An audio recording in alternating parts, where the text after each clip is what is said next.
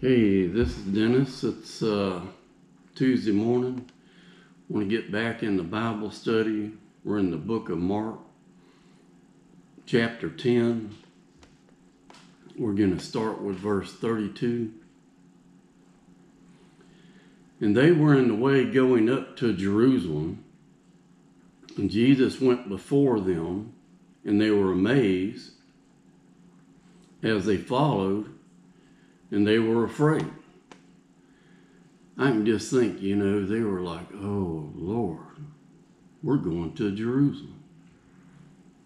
Where those religious hypocrites have been after us and hounding us and dogging us out. And they were afraid.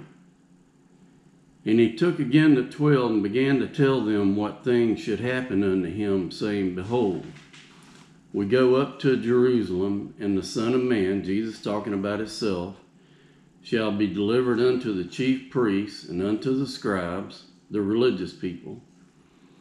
And they shall condemn him to death and shall deliver him to the Gentiles.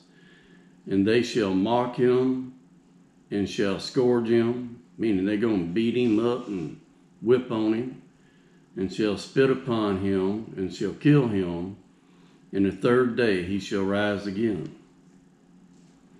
And James and John, the sons of Zebedee, came unto him, saying, Master, we would that thou shouldest do for us whatsoever she, we will shall ask. So they're like, Jesus, we, we want to ask you something, and, and we want you to, to do it for us. And he said unto them, What would ye that I should do for you? What do you want me to do for you? They said unto him, Grant unto us that we may sit one on the right hand and the other on the left hand in thy glory. To me, talking about the kingdom of God. But Jesus said unto them, You know not what you ask. Can you drink of the cup I drink of and be baptized with the baptized baptism that I am baptized with? And they said unto him, We can. And Jesus said unto them, You shall indeed drink of the cup that I drink of, and with the baptized baptism that I am baptized. You're going to be baptized with that also. But to sit on my right hand and on my left hand is not mine to give. Now I want y'all to think about that a minute. Jesus was talking to them, James and John, and he said, To say that you can sit on my right hand or my left hand is not mine to give. Well, if he can't give it, who can? God the Father.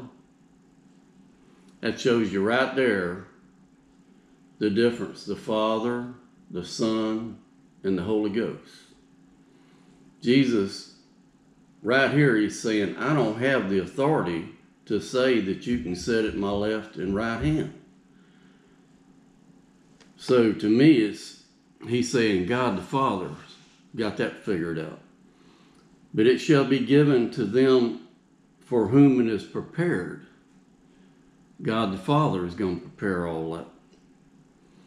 And when the ten heard it, they began to be much displeased with James and John. But Jesus called them to him and said to them, You know that they which are accounted to rule over the Gentiles exercise lordship over them. And their great ones exercise authority over them. But it shall not be that way among you. But whosoever will be great among you shall be your minister, and whosoever of you will be the chiefest shall be the servant of all. In verse 45 here, I think Jesus is relating to his, his way. Listen to verse 45. For even the Son of Man came not to be ministered unto, but to minister. Jesus came not that other people would be ministering to him. Jesus came to minister to everybody else and to give his life a ransom for many. Well, right there, Jesus acknowledging that he's given his life for our ransom.